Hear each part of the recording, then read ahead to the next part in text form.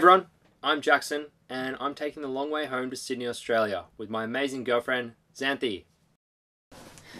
On our boat, Finding Avalon. We recently completed the Atlantic crossing, and we wanted to share with you a more technical episode that goes through the planning and provisioning that went into it. We've already released several episodes on the amazing experience we had over the last 19 days, and we really hope you enjoy this one too.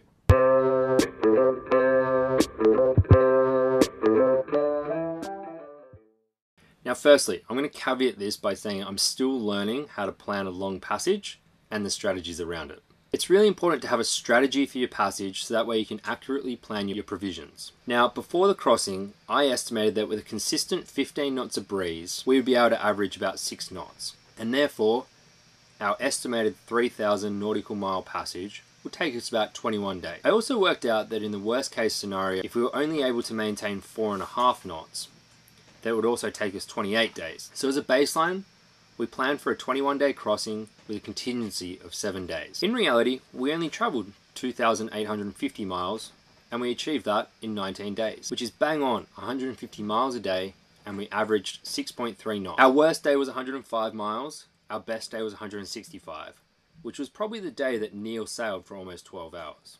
We didn't have any fancy spinnakers or gennakers and we simply sailed with a poled out genoa and mainsail, wing on wing. Work out what kind of speed and distance you can do for the sail configuration you're anticipating to use. Next, in regards to the Atlantic crossing, we were leaving from the Canaries and making our way to St. Lucia in the Caribbean. Now, you most likely want to head south for a few days before you make a right hand turn and head straight for the Caribbean. For our crossing, we headed south for about 600 miles before we got into consistent trade winds, made our right hand turn, and sailed the next 2200 nautical miles straight to St. Lucia. When looking at the weather models, we favoured between 15 and 20 knots of breeze, and that suited our boat, our crew, and our sail configuration. With this breeze, we could comfortably maintain our speed of 6 knots. Anything above 25 knots, we started to make mistakes and put more pressure on the boat than we wanted to. Under 12 knots, became uncomfortable with the roll of the sea and were unable to maintain a good speed. So, think about the ability of your crew and your boat and try to choose favourable wind conditions that suit you. As simple as it sounds, our general rule of thumb was to safely sail as fast as we could 24 hours a day on the closest point of sail to our destination.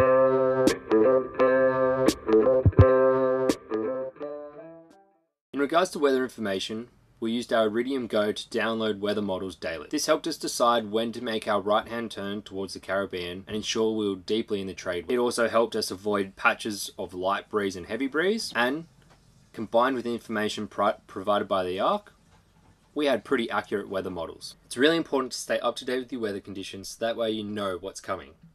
You might be coming into seven days of really light weather, and therefore that might start putting pressure on your provisions, and you might start rethinking how you use them.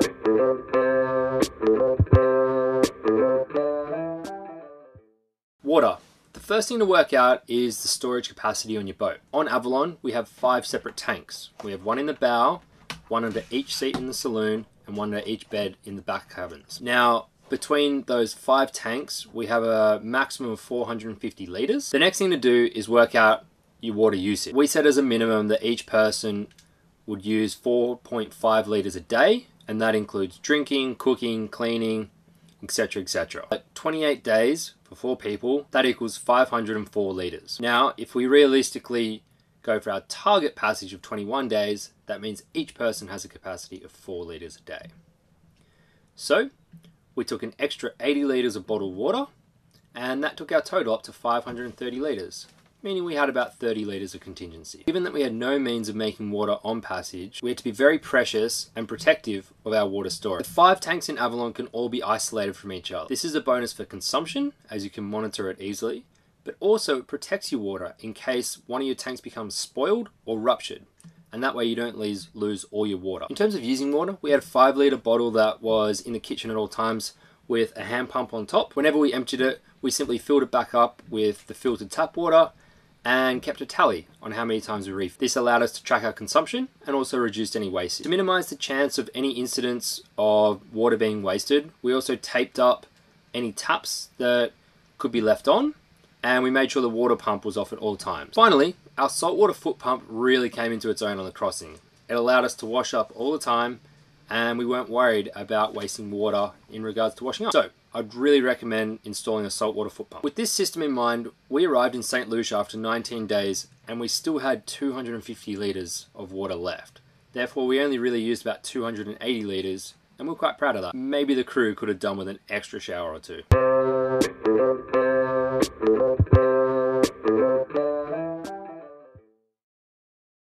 We briefly covered food provisioning in a previous episode, but we thought that we would go into a bit more detail about how we organised it in the end. So to start with, I wrote a meal plan for an expected three week crossing, plus an extra week for if the worst should happen. This included breakfast, lunch, dinner and snacks, and a few drinks. The first week entailed just all fresh produce, the second week entailed a mixture of fresh and dry, and then the third week was mostly long life stuff. And the fourth week was kind of desperate stuff like canned meat. So typical example of what we ate would be toast, cereal, eggs, porridge, soaked oats for breakfast. We like to keep it quite varied so we didn't get bored. And for lunch we would have things like Spanish omelettes, pasta, and sandwiches. Dinners were things like curry, roast vegetables, and pasta bake. So I worked out the portions for each ingredient and multiplied them by four people and by the weeks that we were having them. So, for example, pasta. We eat about 125 grams per person, we worked out. We had planned 15 pasta meals approximately, and there were four of us, so that meant that we needed seven and a half kilograms of pasta. Now, I'm not going to go into every meal that we had and every single food item that we bought, but if you look at the description below, you can see my shopping list. So, firstly, you need to in include the crew quite heavily. Everyone's quite invested in. uh-huh in what they're going to be eating for the next 21 days approximately so they need to have a good say in it. So I included the crew about two months prior to the crossing. Secondly, really important, you need to include some grab and go meals into your plan. These are for the days when it's too dangerous to be cooking in the galley or everyone's tired and sick. So I suggest that at least a third of your meals are ready prepared or just ready to eat now.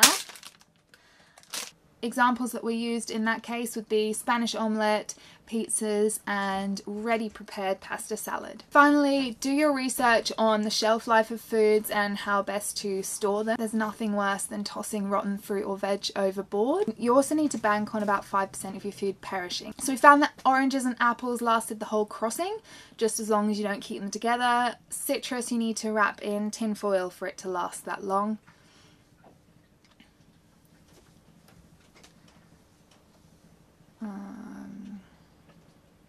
Make sure you check your fresh food every day. If there are any mouldy ones, they will make all the rest go mouldy, so throw them out straight away. Fresh fruit and veg that lasted us the whole crossing were oranges and apples, potatoes, onions, pumpkins, squashes, and cabbage. Now cabbage, the best way to tackle that is just to peel it off leaf by leaf, don't cut into it, then it will last you for weeks. They are they would survive a nuclear bomb, I think. Eggs will last you the whole trip as long as you turn the box over every two days. We were still eating our eggs after the crossing about three weeks after the cross. Before you bring the food on board, this is really important. Make sure that you remove all cardboard as it can harbour cockroach eggs. Also clean thoroughly your fruit and veg as those can have all sorts of nasties on them. Another really important thing is make sure that you include some surprises into the plan just to keep everyone interested through the whole trip. There's one thing I would have done differently if I had my time over. I would have made the plan a little bit more flexible rather than designing really specific meals because we did find that cooking was the one creative outlet for the crew and people tended to go wild when they were cooking and went a bit off piste so it would have been nice if we had a bit more flexibility there. So I've written some recipes and a few cooking hacks at sea for anyone who's interested to learn more and those are on our blog so check out the link below.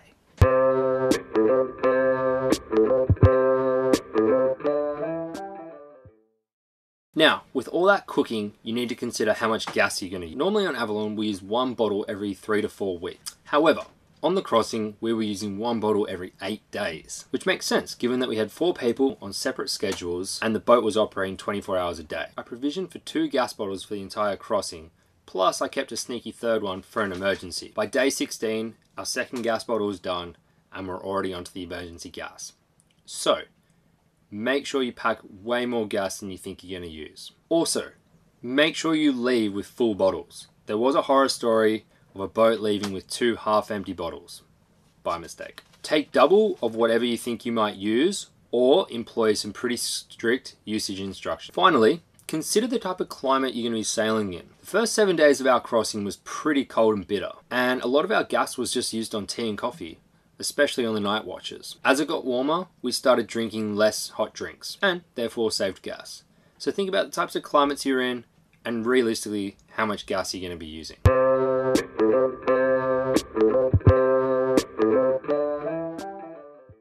The next question is how much fuel should you take? Now, on Avalon, we have a 27 horsepower engine, and when operating about 2000 RPMs, we use about 2 litres an hour. Besides our solar, the engine is our main source of power to recharge the batteries. Now, our fuel tank has a capacity of 165 litres. We also took an extra 80 litres in jerry cans, a total of 245 litres. Assuming that you're not going to be able to use all your capacity down the bottom of your tank by minus 10%, which brought us to 220 litres of fuel. Over 28 days, this meant that we could use about 7.8 litres a day, or we could run the engine for about 4 hours a day. However, by day two, our batteries were really low. The solar was not keeping up with our consumption due to the rolling, and we also had quite cloudy conditions. And in reality, our consumption was much higher than we expected given that the boat was operating 24 hours a day. So we ended up running the engine for three hours every day. We chose to run the engine in the mornings between 5 and 8. This meant that the batteries were full by about 8 a.m.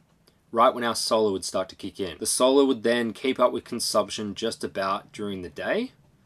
And as night fell, our batteries would be around 90%. Over the next 12 hours, the batteries would then fall again to 50%, until about 5 a.m. when we'd turn the engine back on. Again. Now, we were blessed with great wind during our crossing, and over the 19 days, we probably only motored about 10 hours due to light wind, and therefore we finished the crossing with 100 litres left. So, my advice carefully plan your fuel consumption and leave a really good contingency for light wind or any emergency. Also, make sure you log your engine hours pretty carefully, and then that way you can easily monitor your consumption and you're not playing the guessing game of how much is really in the tank. So, to recap, we ran our engine for three hours every day just to keep up with our power consumption, and therefore we used about 150 litres of fuel.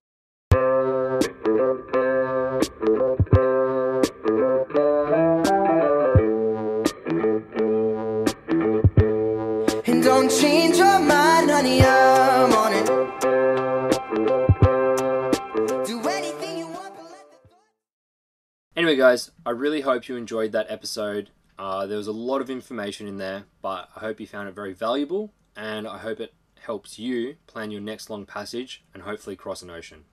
Thanks, guys.